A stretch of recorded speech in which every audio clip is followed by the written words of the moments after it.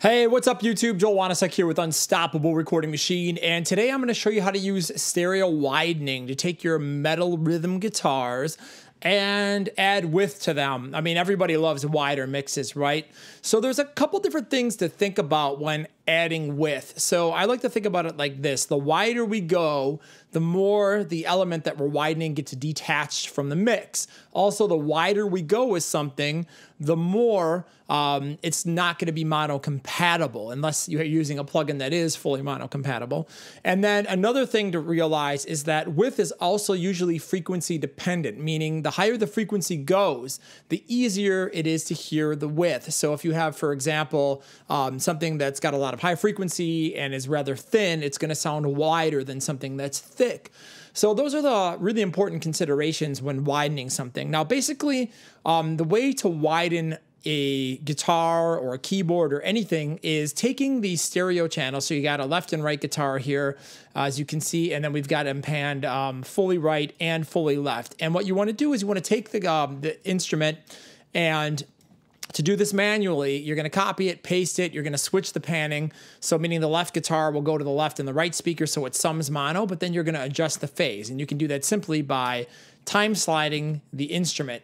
Um, and that's what it is. It's like putting out of phase material in the opposite speaker of the source. The source copied into the other speaker, that the opposite one, out of phase with itself. And that creates the illusion of width. Okay, so let's first look at it in plugins. Then I'm going to show you how to use uh, how to do it manually, and then after that, um, I'm going to show you how to use EQ to do this really powerfully. Okay, so let's listen to this riff that we've got right here in this metal song.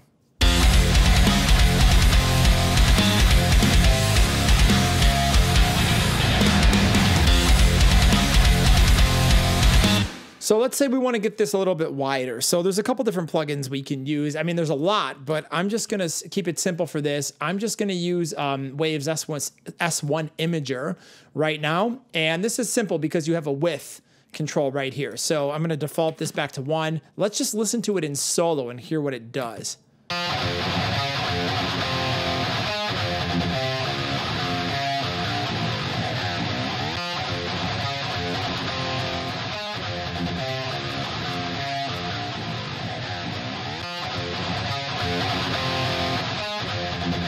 I was just playing around with the gain structure a little bit, but I've got it so wide, it, doesn't really seem to matter.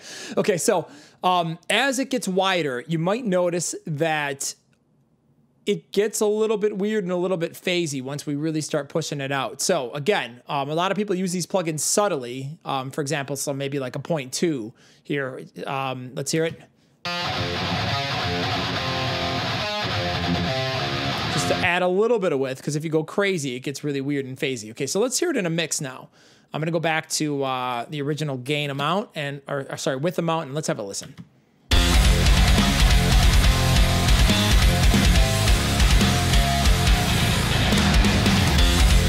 So I've got it pushed out on this plugin 1.3. Let's bypass it and just compare.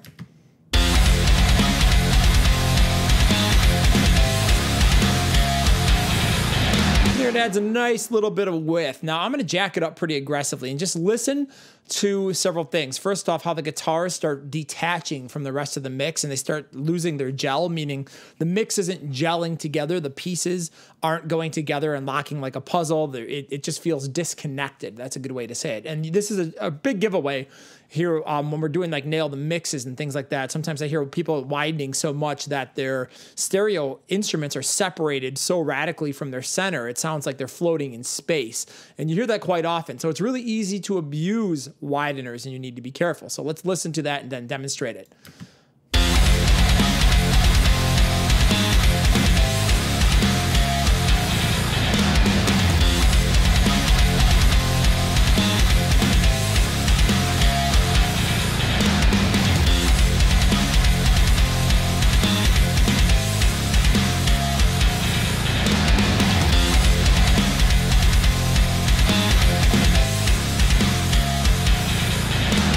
And I was just trying to compensate a little bit here with the gain as I'm increasing the width because it's getting louder. But you can hear like this, for example, gives me a headache. And I'll actually tell you a funny story Um, there was a while ago, a couple years ago, I was mixing for the guy who runs a particular record label, and I did a lot of mixing for him. And he was like, "Dude, you know, I was listening to some mixes of yours in headphones, and it's really weird because I'm listening to the stuff that I'm referencing. I turn it up really loud in my headphones, and it's like the guitars are right in my face. And when I listen to yours, it feels like they reach around and go back behind my head, and it kind of trips me out and gives me a headache. What are you doing?" And I'm like, "Well, I don't know." And I sat down and I thought about it. and I played with some plugins, and I realized I had the stereo widener jacked, so I took off the stereo widener and I sent it back to him. He's like, "Oh, I don't know what you changed, but it's so much better now."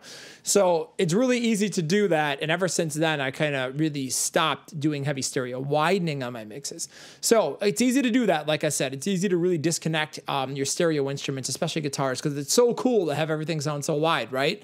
Uh, but um, as you know, uh, there's a trade off here. Again, so let's listen to this. It gives me a headache. That's what I wanted to say. I get a headache when I listen to this, and he got a headache too. So let's go back and forth.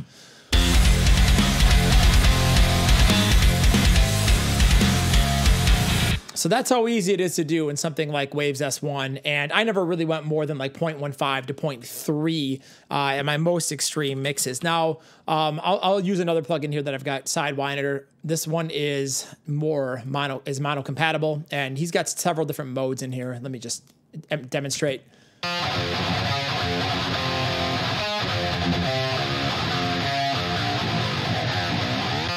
They all sound a little bit different. So if we bring the guitars in here, um, a, a plugin like this is nice and mono compatible, so you can widen it up, and then when you go to mono, it'll collapse better than uh, you know something like S1 would.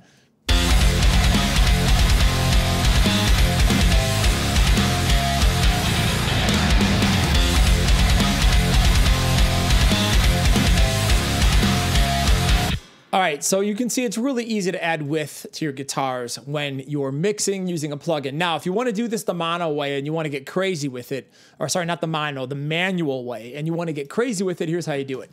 So you take your left and right source, and we're going to just duplicate these tracks. Now, I'm going to color code this to make this a little bit easier to understand here and just go left and right. Now, what you have to do is you have to um, alternate. So I have the left guitar here on the left channel in both times because I've just duplicated it. You either need to switch panning on it, so put the left and the right and the right and the left, or you can switch tracks. So you could go like this and swap out the tracks so the left is panned to the left or the right, and the right is then pan to the left.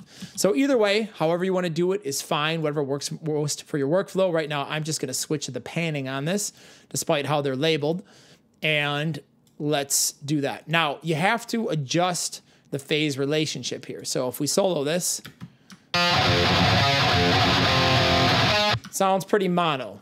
We have to take this and start sliding. So I'm just slip editing by holding Control Alt and clicking in Cubase and you can move the audio within the region, which is pretty cool.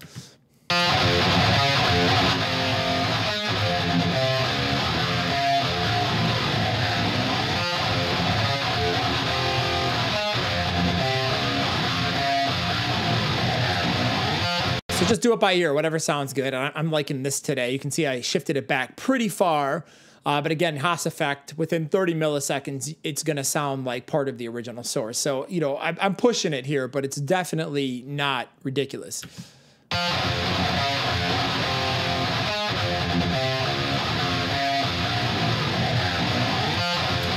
Okay, now I'm going to head over to the mixer here. I'm going to link these up. And what we're going to do here is we're going to we're going to have a little bit of fun with this. So I'm going to close this out. And let's come down here to the fader. As we listen, we bring the fader up, you're going to hear the out of phase material come up and um, it's going to get wider.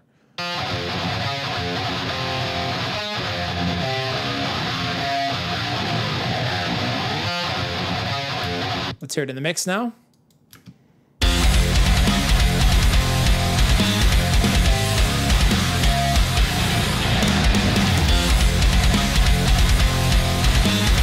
Now I'm going to show you a cool trick for the super nerds out there. Um, you can introduce EQ. So for example, let's say we want to come in, and again, I have these channels linked. So whatever I'm EQing on one of them, I'm EQing on the other, as you can see. So um, if we wanted to take some top end and bring up the top end and make the high end of this guitar sound a lot wider without uh, making the rest of it. So let's just turn up 5K by, you know, a ridiculous amount.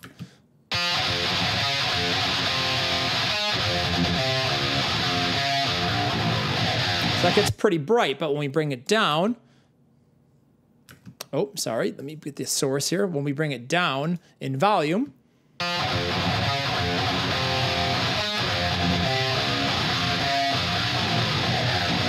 You're going to notice the top end gets a little bit wider and we're widening more of the top because we've emphasized it with EQ. Now you can do the same thing here with the bottom end as well, or the mid range. Say we want to go 1K.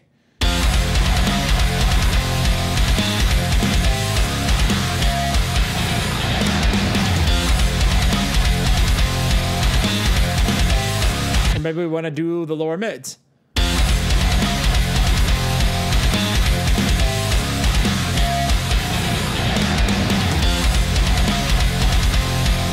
So when we do that, we're getting a little bit more thickness in the width. Now, again, the higher the frequency is, the easier it is to hear the width and the more defined it's going to be. Um, either way, um, it's a cool mixing trick. It's powerful. You can use it to do a lot of different things in your mixes. That is how to set up a scenario uh, with your metal rhythm guitars or any instrument that's stereo for, um, and basically widen it and again, make it cool in the mix. Now, like I said, there are some trade offs. Uh, just to review, the wider it gets, the more disconnected it's going to get, the more phasey it's going to get. And, um, you know, it's really, really important to keep that in mind. So don't overdo it, but you can definitely uh, see that it can be a powerful trick for the right mix. So if you enjoyed this type of video, please click subscribe uh, because we have so many great mixing videos here on our channel and audio production videos, as well as quick like and leave a comment. Let me know what you're using stereo widening on or if you have any favorite widening plugins that you like or what else you'd like to see us make videos on. Thank you so much for watching and I'm Joel Wanasek with Unstoppable Recording Machine.